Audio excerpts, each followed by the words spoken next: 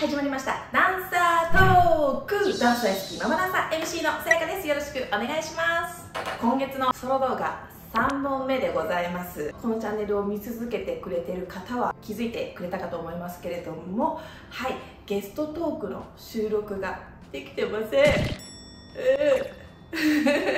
ー。ん。やっぱりね夏はダンサーさん忙しいのよ。本当はねだから4月？じゃ3月？345月ぐらい？結構ねオファーを何人ぐらい？でも5人ぐらいかはずっとこう声かけさせてもらってるんですけれどもみんなお返事は出演 OK なんですよ。ただスケジュールが本当に取れない。ツアー回ってらしたりあのねやっぱ夏っていろんな地方にワークショップに例えば行くとかできるので夏休みだからね学生さんがだからそういうお仕事が入ってたり振り付けのお仕事も立て込んだりとかしてはるんか本当にスケジュールがねめっちゃ暇やのにな私は。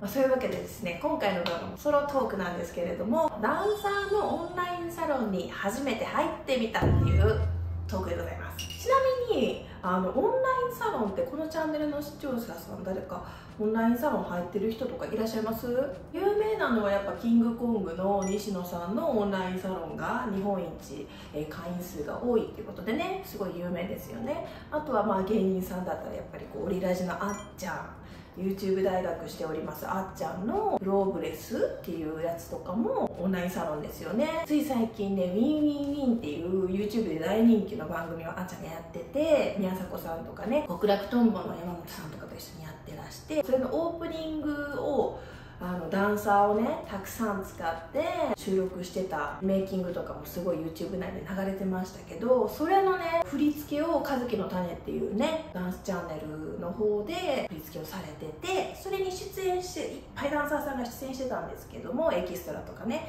それのメンバーはオンラインサロンのメンバーの人が出てたと会員の方が出てたと「え私 Win Win Wiiin めっちゃ出たかってんけど」って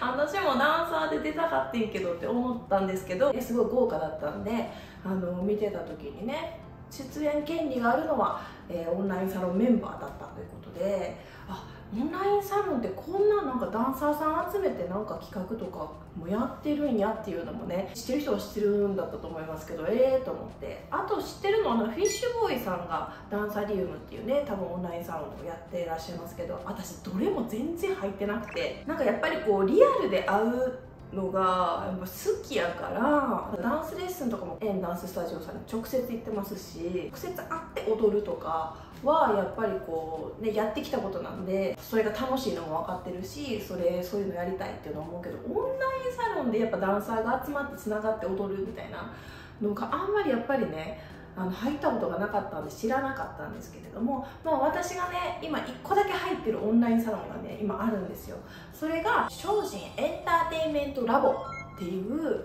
オンラインサロンに入ってましてこれは、えっと、精進先生っていう方、えー、私ずっと存じ上げなかったんですけれどもこの方はテーマパーク出身なんですね。某大きなテーマパーク出身の方でこの方がサロンオーナーとして全国に今600人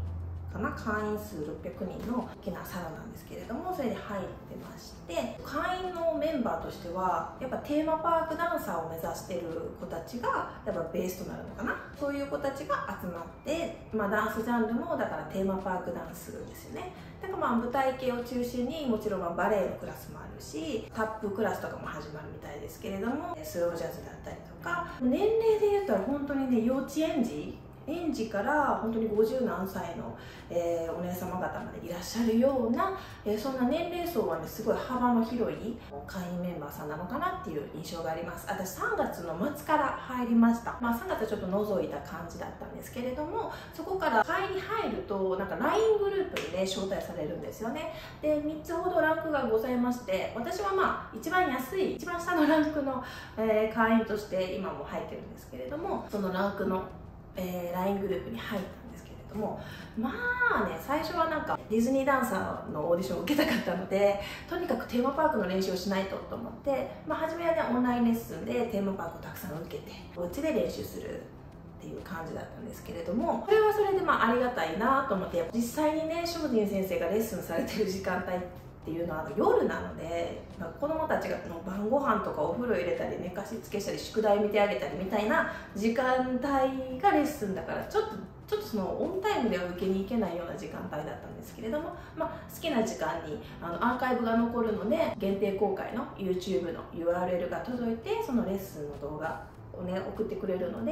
それをアーカイブで見る。見て練習お家で練習できるよっていうのを、まあ、中心に初めの2ヶ月とこう練習させていただいたんですけれどももう一つね私がすげえなっていうかいいなと思う反面ショックだったのが LINE グループにねお仕事の案件がポンポン届くんですよ。あのまあ内容はもちろんね言えないその会員の有料会員の方にしかもちろん流してない情報なので何のお仕事かっていうのは言えないんですけれどもその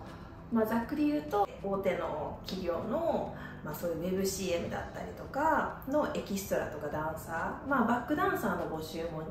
2件ぐらいあったのかな。でもそういうちょっと踊れる方がいいんですけど CM に出て出てくださいっていうねそういう案件っていうんですけれどもそういうのが毎月ちょっと数えてみたら11件とか13件とかやっぱ10件以上毎月、まあ、4月5月もう6月今終わりに収録してるんですけれどもこの3ヶ月間見てもね10件以上のそういう出れるんだったらすぐ連絡くださいっていうお仕事依頼がめちゃ届く。それが私びっくりした。だってさ超人先生ってこの方に毎月10件以上のそういうダンサーのこう誰かいませんかっていうご依頼が来るってもうそれだけこう、まあ、信頼と実績があるからこそだと思うんですけどこんなに来んのみたいな。っていうのも私もねあの一応振り付けも一応したことあるんですよ。あのまあ、もちろんね教えとか振り付けとか先生としてのお仕事っていうのはもちろんこうまだね結果としては少ないそんなにやってやってこなしたことないんですけれどもまあできる。じゃないですか。できるじゃないですか。って振り付けもできるやったことある。でも私が振り付けしたのって多分遡ったらコロナになる前の笑い芸人の千鳥さんのお笑いライブの、えー、ライブの途中でね千鳥さんがちょっとネタとしてちょっと踊りたいみたいな。それのちょっとライブの振り付けとかダンスレクチャーをちょっとしてほしいねみたいなので振り付けをねしたことがあるんですよ。でもそれからだからもう2年経って3年ぐらい経ってるけど振り付けの依頼なんか来ないわけですよ。営業不足きっとそれは。ここにこんなに時間あってこんなに振りも作れる多分1個渡してくれたらそれにむちゃくちゃ注力できるぐらいの時間がありますねみたいな。ここにね振付師ダンサーいらっしゃるのにゼロなわけですよ。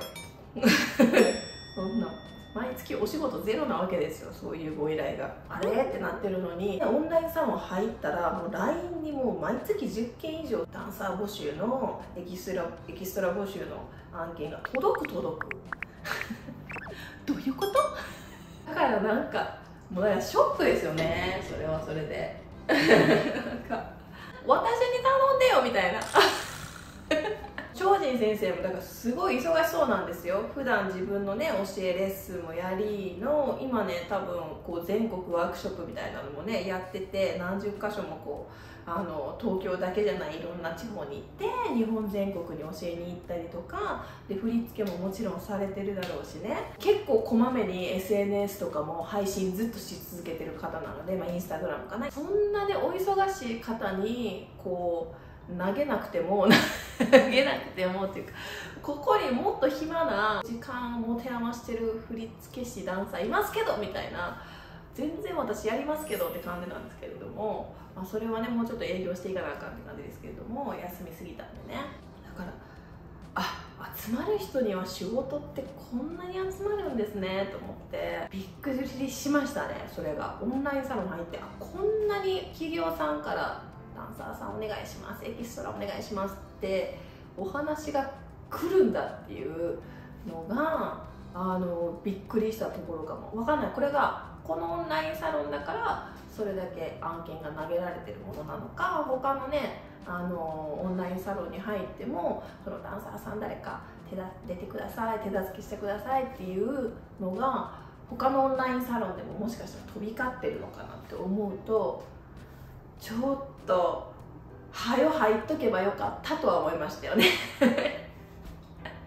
だってそれ入る入らんかったら私への依頼とか案件なんてゼロでしたからね。ほんまに振付師としてもダンサーとしてもやっぱお願いしますっていうのはやっぱしこの間ねあのありがたいことにお友達のとこに出張レッスンを行かしてもらいましたけどやっぱりね数としては本当にまだまだなのででどんなね依頼かっていうと、まあ、全体的な雰囲気を見ると、まあ、キッズが多いのかなっていう印象あるんですよ。キッズへのキッズちゃんへの案件が多いのかなってお子さんで誰か出れませんかっていうのが多いのかなっていう印象もあるけどでもあとはやっぱりその10代20代の若者への出演依頼っていうのもねたくさんあって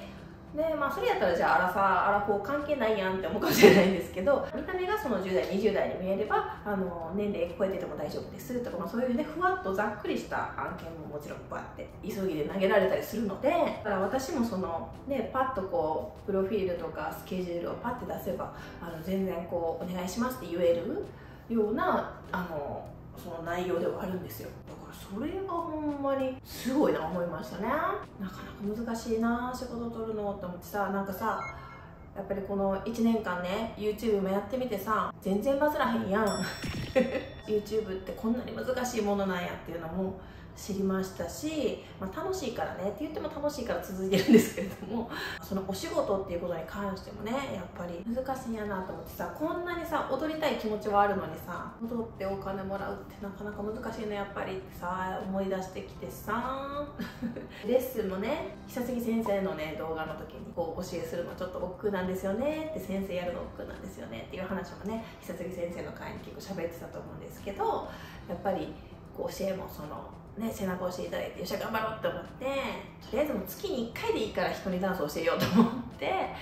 こうねやってみてる産業時代の、まあ、レンタルスタジオを借りて毎月えー、もうほんまにこう子連れでもいいし、まあ、小学生から中学生高校生もちろん社会人大人ママパパでもいいんだけども、まあ、ガールズ系のね振りが好きな人はもう全然来てねっていうダンスレッスンを毎月コツコツやってるんですけれども本当にね来てももう1人の日とかもあるしあの0人の月も全然あるし全然ねあのうまくいってないですよ正直。毎月ね三軒茶屋でねチラシ配ってるんですよ。ポスティングとかをして毎月今100枚ずつを三軒茶屋周辺にこう巻いたりしてるんですけれどもそれでもねなかなかレッスンに人も来なくてあビジネスってこんなに難しいんだなと思って34歳2児のママ社会復帰苦戦しております。本当に。まあ、でもねコツコツとやっていくしかないと思うので1月とかのね動画だと本当1人ママ友が来てくれましたけどでも本当1人来てくれるだけでも本当に貴重なことなんだなってありがたいことなんだなって思いながら、ね、コツコツ仕事をしていくしかないのかなって思ってるんですけれども本当に私自身にビジネスのセンスがないんじゃろうね。どうする？私も旦那さんすごいと思う。今更。えずっとすごいと思ってる。旦那は。旦那さんはねあのやっぱ経営者なのですごいですよ。ビジネスをどんどんどんどんもうコロナ禍も大変やったけどそれを乗り越えてもうどんどんどんどん、ね、成長していってる旦那なのでもう本当にいつも旦那はすごいなと思うんですけれども改めてビジネスしてる人結果出してる人ってすごいんやって思ってそんなねビジネスがうまくいってないとか言っても子供たちは本当にとっても可愛いのですごいんですよ。その専業主婦の方も本当にすごい。もう子供といるだけで一日やることもう山ほどあるじゃないですか。時間ない毎日みたいな、ね、子供のことをやるだけで本当にもう素晴らしいことなんですけれどもダンスもね一生続けおばあちゃんになっても一生続けていきたいとは思ってるので